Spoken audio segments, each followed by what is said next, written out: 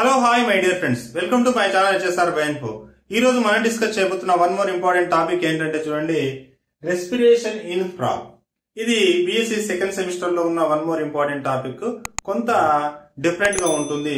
Three types of ఏముంటాయంటే respiratory systems అనేటివి దీంట్లో స్పెషల్గా ఉంటాయి కాబట్టి ఎగ్జామ్లో టెన్ మార్క్స్ ఇవ్వడానికి చాలా స్కోప్ ఉన్న క్వశ్చన్ కాబట్టి కొద్ది జాగ్రత్తగా అబ్జర్వ్ చేస్తే సరిపోతుంది. వెరీ సింపుల్గా ఉంటుంది.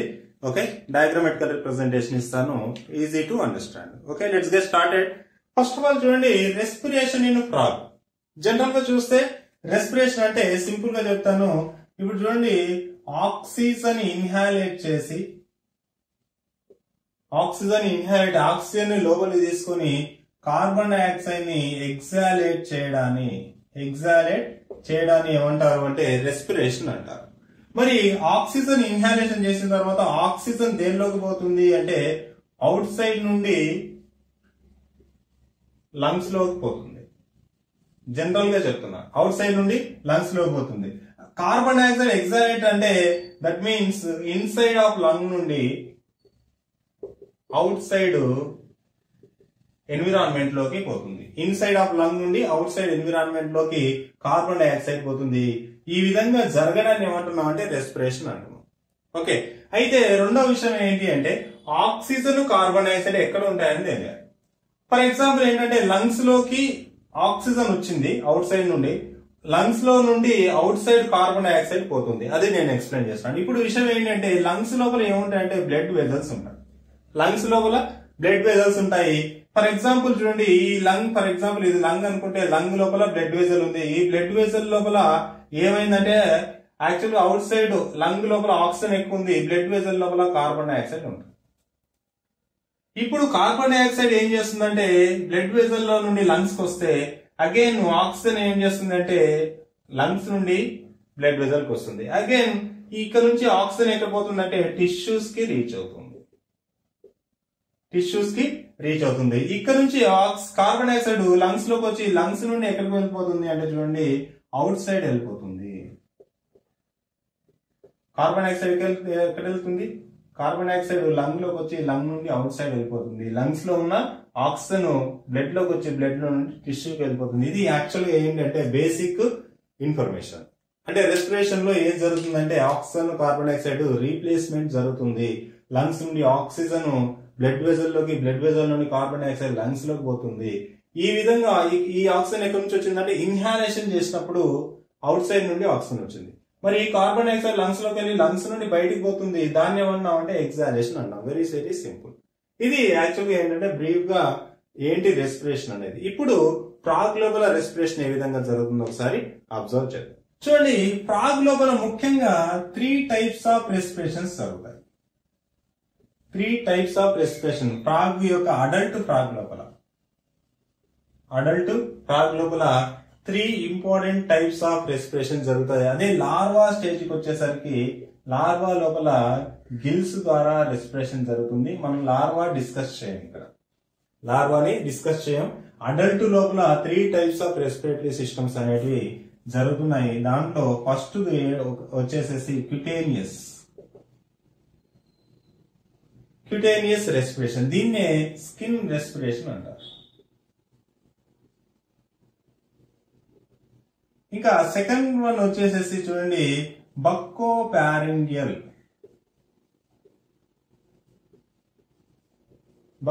buccopharyngeal respiration. Okay third వచ్చేసేసి pulmonary respiration.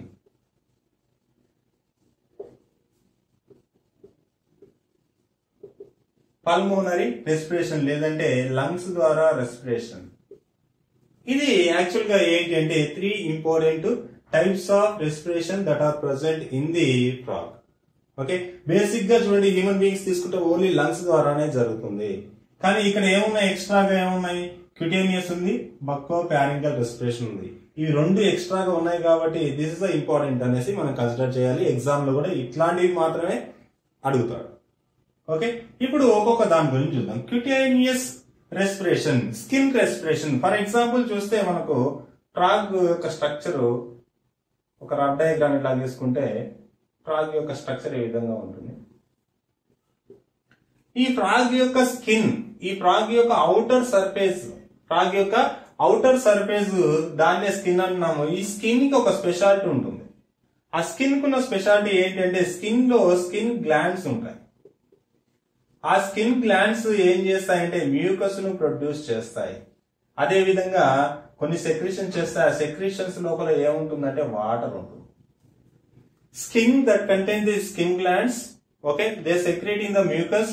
Again that contains the water water is more important ఇక చాలా జాగ్రత్తగా చూడాలి స్కిన్ మీద వాటర్ అనేది ఎప్పుడు కూడా డ్రాప్లెట్స్గా ఉంటుంది.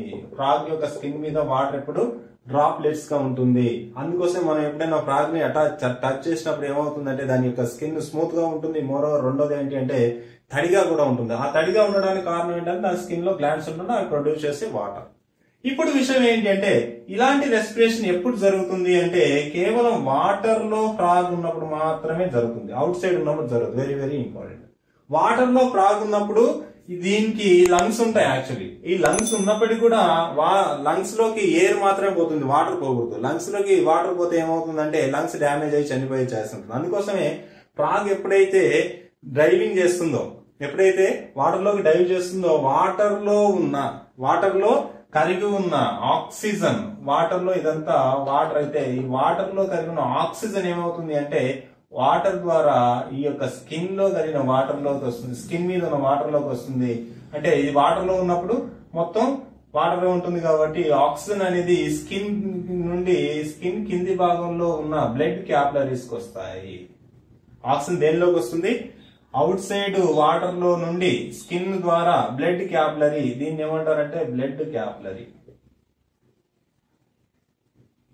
దీన్ని బ్లడ్ క్యాపిలరీ అంటారు. బ్లడ్ క్యాపిలరీ అంటే యాక్చువల్లీ ఏంటి? ఒక బ్లడ్ వెజల్ ఉంటుంది. ఆ బ్లడ్ వెజల్ అనేది చిన్నగా డివైడ్ అవుతుంది. అగైన్ అది చిన్నగా మళ్ళీ డివైడ్ అవుతుంది. చివరికి ఒక సన్నని ఈ విధమైన స్ట్రక్చర్స్ అనేవి కనబడతాయి. మనం కంట్లో చూస్తే కరెక్ట్గా మన కంట్లో సన్నని బ్లడ్ వెజల్స్ కనబడతాయి ఇట్లాంటి స్ట్రక్చర్స్ దాన్నే క్యాపిలరీస్ అంటారు. ఇది బ్లడ్ వెజల్ అయితే బ్లడ్ క్యాపిలరీ అంటే సన్నగా బ్లడ్ వెజల్ లా బ్లడ్ వెజల్ సన్నగా అవ్వడానికి క్యాపిలరీ అంటారు.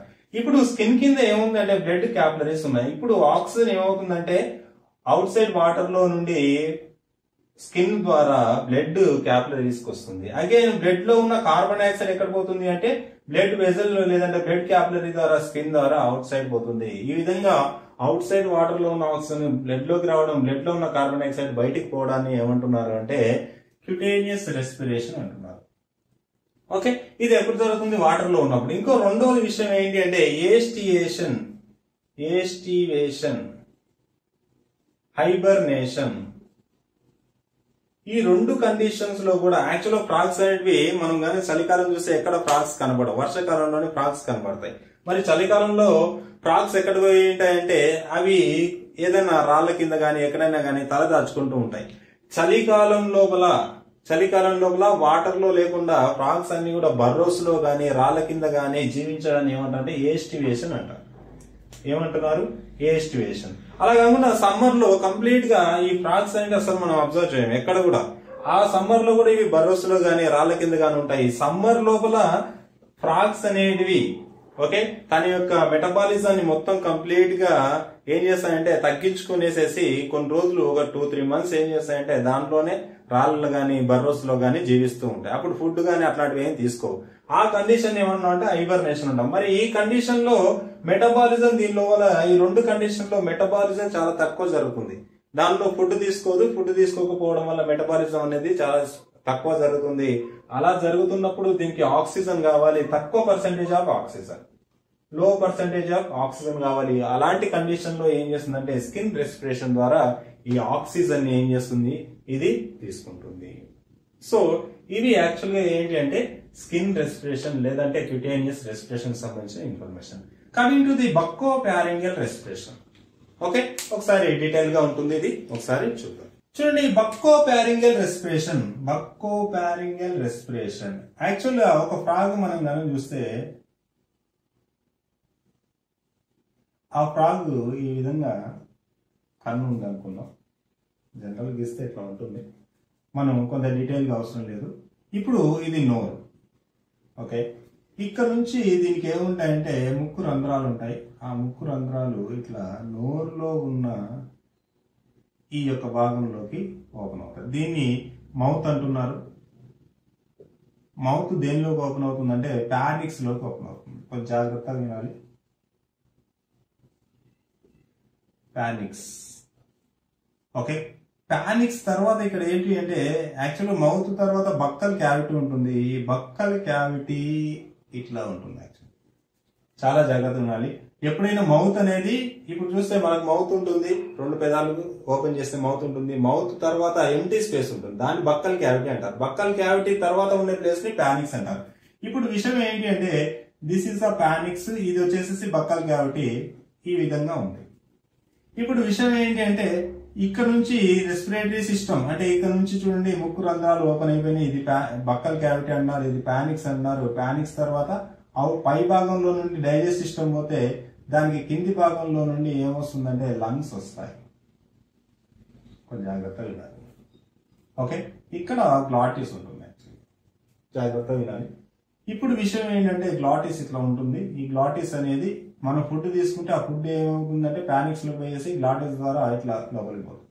ఒకవేళ ఎయిర్ తీసుకుంటే ఎయిర్ ఏమవుతుంది అంటే ఈ గ్లాటిస్ అనేది ఇట్ సైడ్ క్లోజ్ అవుతుంది ఇట్ సైడ్ ఓపెన్ అవుతే లంగ్స్లోకి పోతుంది. ఇది జనరల్గా కాన్సెప్ట్ ఇప్పుడు ఇప్పుడు ఒకసారి చూడండి. ఈ బక్కో ప్యారింగల్ రెస్పిరేషన్ బక్కల్ క్యావిటీకి ప్యారినిక్స్కి రెండింటికి మధ్యలో ఉన్న ఎంటీ స్పేస్ లోపల రెస్పిరేషన్ జరుగుతుంది. వెరీ వెరీ ఇంపార్టెంట్ ఇది టానిక్స్ ఇది బక్కల్ క్యావిటీ ఈ ఏరియాకి ఈ ఏరియాకు మధ్య లోపల ఏం జరుగుతుందంటే రెస్పిరేషన్ జరుగుతుంది లంగ్స్తో సంబంధం లేకుండా. అలాంటి కండిషన్ ఏమంటున్నారంటే buccopharyngeal buccal cavity plus pharynx buccopharyngeal okay respiration అంటున్నారు. ఇప్పుడు విషయం ఏంటంటే ఈ బక్కో ప్యారింగల్ రెస్పిరేషన్లో కూడా ఏం జరుగుతుందంటే ఈ బక్కల్ క్యావిటీకి ఇన్సైడ్ ఉన్న మెంబ్రెయిన్ లోపల ఓకే టానిక్స్లో ఉన్న మెంబ్రెయిన్స్ లోపల ఏముంటుంది అంటే బ్లడ్ క్యాపిలరీస్ ఉంటాయి. Blood capillaries. ఓకే ఇప్పుడు ఇది యాక్చువల్ ఎక్స్ప్లెనేషన్ ఇప్పుడు ఎట్లా మెకానిజం ఎట్లా జరుగుతుంది చూడండి. ఫస్ట్ దీంట్లో కూడా టూ టైప్స్ ఆఫ్ ఉంటాయి. ఒకటి ఫస్ట్ ఇన్హాలేషన్లో ఏ విధంగా జరుగుతుంది? ఇన్హాలేషన్ బక్కో బ్యారింగల్ రెస్పిరేషన్ లోపల ఇన్హాలేషన్ ఫర్ ఎగ్జాంపుల్ చూడండి ఇది మౌత్ బక్ ఇన్హాలేషన్ లోపల ఏం జరుగుతుందంటే మౌత్ క్లోజ్గా ఉంటుంది. మౌత్ క్లోజ్గా ఉంటుంది. అదే విధంగా చూడండి ఇట్ సైడ్ నుండి ఎయిర్ అనేది లంగ్స్లోకి పోకుండా ఇక్కడ గ్లాటిస్ ఉంటుంది కాబట్టి గ్లాటిస్ కూడా క్లోజ్లో ఉంటుంది. గ్లాటిస్ కూడా క్లోజ్గా ఉంటుంది. ఇప్పుడు ఏంటి అంటే ఇక్కడ ముక్కు రంధ్రాలు దీనిలో యాక్చువల్ స్పెషల్గా ఏమంటారంటే నేర్స్ అంటారు. ఎన్ఏఆర్ఈఎస్ దీనిలో అవుట్ సైడ్ ఉండే దాన్ని అవుటర్ నేర్ అంటారు ఇన్సైడ్ ఉండేదాన్ని ఇన్నర్ నేర్ అంటారు. ఇన్నర్ నేర్. నేర్ అంటే యాక్చువల్గా రంధ్రం కాదు ఒక స్లిట్. ఇట్లా జస్ట్ ఇట్లా ఒక స్లిట్ ఏర్పడి ఉంటుంది ఒక చిన్న కోస్తే ఒక చర్మం కోస్తే ఇట్లా ఓపెన్ చేస్తే ఎట్లా ఉంటుందో అట్లా స్లిట్. దాన్ని నేర్స్ అంటారు. అవుటర్ నేర్ ఇన్నర్ నేర్. అవుటర్ నేర్ నుండి ఏర్ అనేది ఈ యొక్క నాసల్ చాంబర్స్ ద్వారా దీన్ని ఏమంటున్నారు? Nasal chambers outer nare nasal chamber inner nare. Outer nare నుండి నాసల్ చాంబర్ ద్వారా ఇన్నర్ నేర్ ద్వారా ఏమొస్తుందంటే ఎయిర్ అనేది ఈ యొక్క బక్కో ప్యారింగల్ రీజన్లోకి వస్తుంది. ఎప్పుడైతే బక్కో ప్యారింగల్ రీజన్లోకి ఎయిర్ రావడాన్ని ఏమంటున్నారంటే ఇన్హాలేషన్ అంటున్నారు. అప్పుడు ఏం క్లోజ్ అయింది? మౌత్ క్లోజ్ అయింది గ్లాటిస్ క్లోజ్ అయింది. ఇక్కడ నుంచి గ్లాటిస్ క్లోజ్ అవడం వల్ల ఎయిర్ అనేది బక్కో ప్యారింగల్ రీజన్ నుండి లంగ్స్లోకి పోట్ల పాయింట్ వన్. అదేవిధంగా మౌత్ నుండి ఏ ఇట్లా వచ్చేసి ఇట్ సైడ్ నుండి ఇట్ సైడ్ పోకుండా మౌత్ కూడా క్లోజ్ అయింది. ఇది క్లోజ్ అయింది. ఇప్పుడు ఎయిర్ మొత్తం దేంట్లో ఉంటుంది? బక్కో ప్యారింగల్ రీజన్లో ఉంటుంది. ఇప్పుడు విషయం ఏంటంటే కొద్ది సమయం. ఫ్రాక్షన్ మీ ఒక మినిట్లో కొంత సమయం ఏం చేస్తుందంటే అవుటర్ నేర్ ఇన్నర్ నేర్స్ అనేవి క్లోజ్ అయిపోతాయి. ఎప్పుడైతే ఎయిర్ లోపలికి వచ్చిన తర్వాత ఇది ఇది ఇది మూడు క్లోజ్ అయిపోయినాయో ఆ క్లోజ్ అయిన టైంలో ఏం చేస్తుందంటే బయట నుంచి వచ్చిన ఎయిర్లో ఉన్న ఆక్సిజన్ ఎప్పుడైతే ఉంటుందో ఆక్సిజన్ అనేది బ్లడ్ వెజల్లోకి పోతుంది. బ్లడ్ వెజల్లో ఉన్న కార్బన్ డైఆక్సైడ్ అనేది ఈ బక్కో ప్యారింగల్ రీజన్లోకి వస్తుంది. ఇప్పుడు సెకండ్ థింగ్ ఏంటంటే ఎగ్జాలేషన్ జరుగుతుంది. ఎగ్జాలేషన్ అంటే కార్బన్ డైఆక్సైడ్ని బయటికి పంపించడం. ఇక్కడ వచ్చిన కార్బన్ డైఆక్సైడ్ ఇప్పుడు ఏమవుతుందంటే ఈ ఇంటర్ ఇంటర్నల్ లేయర్ తర్వాత ఎక్స్టర్నల్ నేర్ అనేది ఓపెన్ అవడం వల్ల ఇక్కడ నుంచి కార్బన్ డైఆక్సైడ్ అనేది బయటకు పోతుంది. ఇలా కార్బన్ డైఆక్సైడ్ బయటికి పోవాలి అంటే ఈ బక్కో ప్యారింగల్ రీజన్ యాక్చువల్గా ఏంటి అంటే రెండు రకాలుగా ఉంటుంది బేసిక్గా చూస్తే ఒక ఫ్రాగ్ని ఈ విధంగా చూసినప్పుడు జనరల్ కనబడుతుంది. ఇంకో ఇంకో కండిషన్లో ఫ్రాగ్ యొక్క ఈ యొక్క బక్కో ప్యారింగల్ రీజన్ ఇట్లా ముందుకు వచ్చి కనబడుతుంది. ఓకే? మనం చూసినప్పుడు ఫ్రాగ్ ఇట్లా కూర్చొని ఉన్నప్పుడు ఇది ముందుకు వస్తూ పోతుంటుంది. దట్ ఈస్ కాల్డ్ ఇక్కడ ఉన్న రీజన్ ముందుకు వస్తూ పోతుంది. That is called as a buccopharyngeal region ఇప్పుడు this is called as normal condition normal condition లోపల ఈ ప్యానిక్స్ బక్కో ప్యానిక్స్ అనేది కిందికి రాదు. నార్మల్ గానే ఉంటుంది. అట్లాంటి కండిషన్ లోపల ఏంటంటే నార్మల్ ఎప్పుడైతే ఎయిర్ అనేది లోపలికి వచ్చిందో ఎయిర్ లోపలికి వచ్చినప్పుడు బక్కో ప్యారింగల్ రీజన్ అనేది ఇట్లా ముందుకు వస్తుంది. అలా ముందుకు వచ్చినప్పుడు ఇక్కడ ఎయిర్తో ఫిల్ అయి ఉంటుంది. ఓకే? మళ్ళీ ఇక్కడ ఉన్న ఎయిర్ ఏమవ్వాలి? బయటికి పోతుంది. ఎయిర్ ఎప్పుడైతే కార్బన్ డైఆక్సైడ్ కలిగిన ఎయిర్ బయటికి పోతుంటుందో అప్పుడు అగైన్ ఈ కండిషన్ ఏమవుతుందంటే మళ్ళీ నార్మల్ స్టేజ్కి వస్తుంది. ఈ కండిషన్కి వస్తుంది. ఇక్కడ ఏంటి? బక్కో ప్యారింగల్ రీజన్ అనేది బయటికి రావడం లోపలికి పోవడం అనేది జరుగుతుంది. డౌన్ అవ్వడం లోవర్ కావడం ఓకే? అప్ అవ్వడం డౌన్ అవ్వడం. అప్ అంటే పైకి పోవడం డౌన్ అంటే కిందికి రావడం. ఎప్పుడు డౌన్ అవుతుంది ఎప్పుడు అప్ అవుతుంది? ఇన్హాలేషన్ చేసినప్పుడు ఆక్సిజన్ అనేది ఎక్కువ ప్రెషర్ కలిగజేయడం వల్ల బక్కో ప్యారింగల్ రీజన్ అనేది కిందికి వస్తుంది బక్కో ప్యారింగల్ రీజన్ ఏమవుతుంది? ఇట్లా కిందికి వస్తుంది ఎగ్జాలేషన్ జరగాలి అంటే బక్కో ప్యారింగల్ రీజన్ అనేది ఇట్లా బయటకు వచ్చిన బక్కో ప్యారింగల్ రీజన్ లోపలికి పోయినప్పుడు ఇక్కడ పిల్లైన కార్బన్ డైఆక్సైడ్ అనేది బయటకు పోతుంది. దిస్ ఇస్ వెరీ ఇంపార్టెంట్ అయితే ఈ విధంగా బక్కో ప్యారింగల్ రీజన్ కిందికి రావడానికి బక్కో ప్యారింగల్ రీజన్ పైకి పోవడానికి two types of muscles help చేస్తాయి. ఒకటి ఏంటంటే స్టెర్నోహైలస్. Sternohyalis muscle. రెండోది ఏంటి అంటే petrohyalis muscle. Sternohyalis muscle petrohyalis muscle. యాక్చువల్గా స్టెర్నోహైలస్ మజిల్స్ అనేటివి కింది జా ఉంటుంది కదా ఈ కింది జాకి ఎక్కడి వరకు ఉంటాయంటే యాక్చువల్లీ ఇక్కడ నుంచి ఇట్లా ఉంటాయి యాక్చువల్లీ ఓకే? తర్వాత ఈ యొక్క పెట్రో హై హైలెస్ మజిల్స్ వచ్చేసేసి ఇక్కడ నుంచి కన్ను భాగం వరకు ఇట్లా ఉంటాయి. ఓకే జస్ట్ గుర్తుపెట్టుకోండి. స్టెర్నో హైలెస్ మజిల్ కాంట్రాస్ట్ అయినప్పుడు స్టెర్నో హైలెస్ మజిల్ కాంట్రాస్ట్ అయినప్పుడు ఏమవుతుంది అంటే ఆ యొక్క బక్కో ప్యారింగల్ రీజన్ అనేది డౌన్ అవుతుంది. డౌన్ అవడం అంటే ఇట్లా కిందికి వస్తుంది ఇట్లా ఉన్నది ఇట్లా వస్తుంది. ఈ కండిషన్ లోపల ఇది వచ్చేసేసి నార్మల్ రిలాక్స్ స్టేజ్లో ఉంటుంది. ఓకే? సెకండ్ పాయింట్ ఏంటంటే స్టెర్నో హైలెస్ మధ్యలో రిలాక్స్ అయినప్పుడు రిలాక్స్ అయినప్పుడు ఇవి కాంట్రాస్ట్ అవుతాయి. ఈ మజిల్స్ పైన ఉన్న మజిల్స్ కాంట్రాస్ట్ అవడం వల్ల ఇక్కడ స్కిన్కి అటాచ్ అయింది కాబట్టి ఈ స్కిన్ని పైకి లాగుతుంది. అట్లా అప్పుడు ఏం చేస్తుందంటే ఇది కాంట్రాస్ట్ అయినప్పుడు బక్కో ప్యారింగల్ రీజన్ అనేది అప్పుడు అప్ వరకు పోతుంది. సింపుల్ గుర్తుపెట్టుకోవాలి. స్టెర్నో హైలస్ మజిల్స్ అనేవి కింద ఉన్నాయి.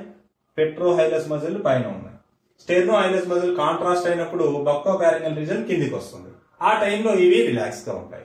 ఇప్పుడు సెకండ్ టైం ఏంటి? స్టెర్నో హైలస్ మజిల్ రిలాక్స్ కండిషన్లో ఉన్నప్పుడు పెట్రో హైలస్ మజిల్స్ అనేవి కాంట్రాస్ట్ అవుతాయి. అంటే పైకి లాగుతాయి. ఈ రీజన్ని మొత్తం పైకి లాగుతాయి. కాంట్రాస్ట్ అవుతుందంటే ఇట్లా ఉన్నది ఇట్లా అవుతుంది దగ్గరికి అవుతుంది.